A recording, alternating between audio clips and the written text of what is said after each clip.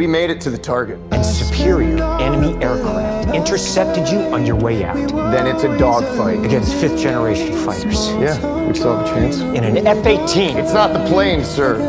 It's the pilot. Exactly.